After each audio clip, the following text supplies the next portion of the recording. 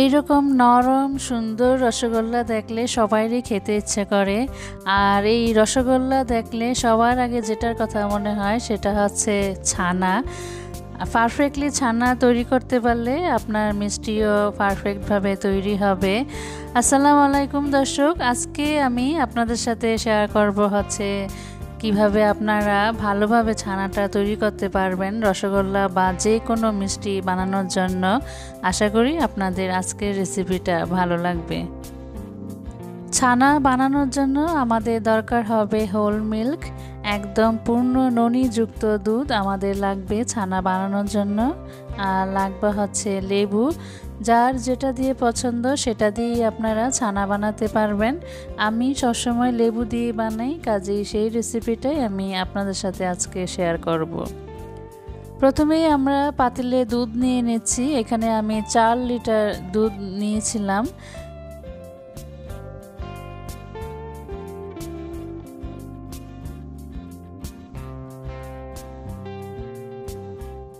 চার লিটার দুধের জন্য পাতিলটা একটু ছোট হয়ে যায়, এজন্য আমি পাতিলটা আবার চেঞ্জ করে একটা বড় পাতিল নিয়ে নিয়েছিলাম। তো দুধে আমরা একটা বলক আসা পর্যন্ত অপেক্ষা করব। আর এই ফাঁকে আমরা লেবুগুলো কেটে নিব। লেবু আপনারা চেষ্টা করবেন ফ্রিজ থেকে আগেই বের করে রাখতে। আর আপনারা যদি টক দই দিয়ে ছানাটা তৈরি করতে চান, তাহলে টক দইও আপনারা ফ্রিজ থেকে আগে নামিয়ে রাখবেন। আর টক দইয়ের সাথে আপনারা যতটুকু টক দই নেবেন, ততটুকু পরিমাণ গরম পানি মিশিয়ে নেবেন। এতে করে ছানাটা খুব ভালোভাবে তৈরি হবে। আর সিরকা বা ভিনেগার যাই নেন না কেন, সেটার সাথেও আপনারা একটু পানি মিশিয়ে নেবেন।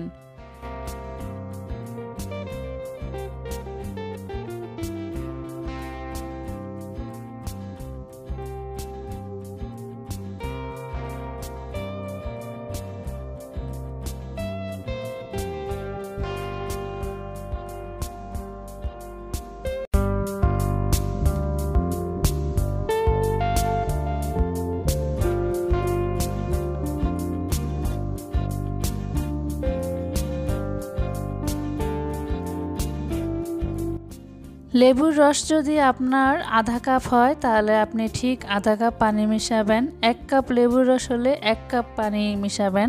অর্থাৎ পানি এবং লেবুর রস সম পরিমাণে আপনাকে রাখতে হবে। এদিকে আমাদের দুধও কিন্তু বলক চলে এসেছে, আর একটা বলক আসলেই আপনারা সাথে সাথে চুলাটা বন্ধ করে দিবেন। এবার আমরা এতে অল্প অল্প করে লেবু আর পানির যে মিশ্রণটা আছে, সেটা মিশাবো। দিয়ে একটু নেড়েচেড়ে দিয়ে অপেক্ষা করবেন। দেখবেন যে ছানা কাটা শুরু হয়ে যাবে। এবার আমি আবার একটু লেবুর রস দিব।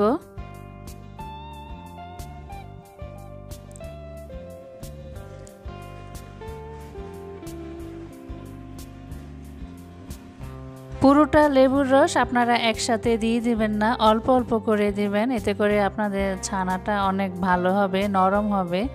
আর এখন আপনারা একটু অপেক্ষা করবেন। দেখবেন যে আস্তে আস্তে পানিটা সবুজ হয়ে আসছে দুধ থেকে ছানাটা কাটা শুরু হয়ে যাবে। তো যখন এরকম পর্যায়ে আসবে, অনেক বেশি নাড়াচাড়া করবেন না, আলতো করে একটু নেড়ে চেড়ে দেবেন। বেশি নাড়াচাড়া করলেও কিন্তু ছানা শক্ত হয়ে যায়। বাস, এবার আমরা একটা ছাকনিতে ভালো করে এই ছানাটা ঢেলে নিব।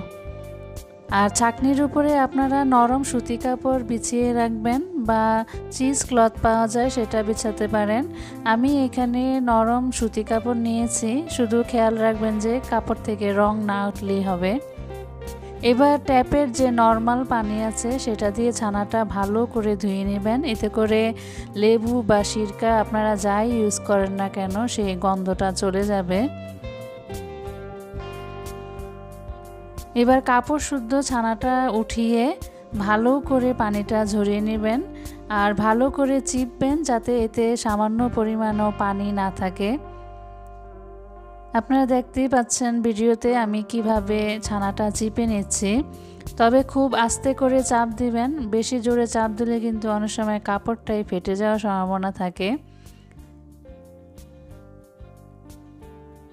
এরকম চিপে তারপরে আপনারা এটা দেড় থেকে দুই ঘণ্টা ঝুলিয়ে রাখবেন, তাহলে দেখবেন যে আপনাদের ছানার যে বাড়তি পানিটা আছে সেটাও ঝরে যাবে।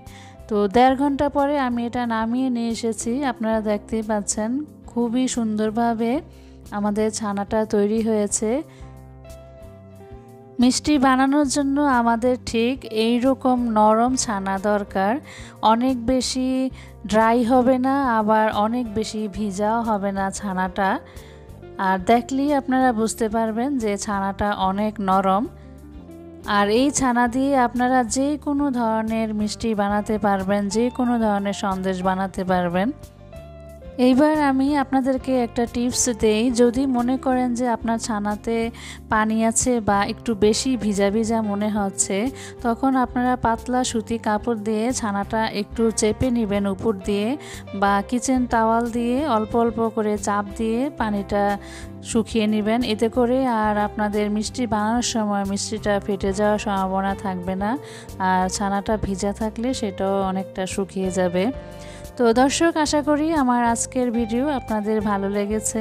আর ভালো লাগলে কিন্তু আমার চ্যানেলটি সাবস্ক্রাইব করবেন, আমার ভিডিওগুলোতে লাইক, শেয়ার দিবেন। ধন্যবাদ সবাইকে আমার আজকের রেসিপি দেখার জন্য। সবাই ভালো থাকুন, সুস্থ থাকুন। আল্লাহ হাফেজ।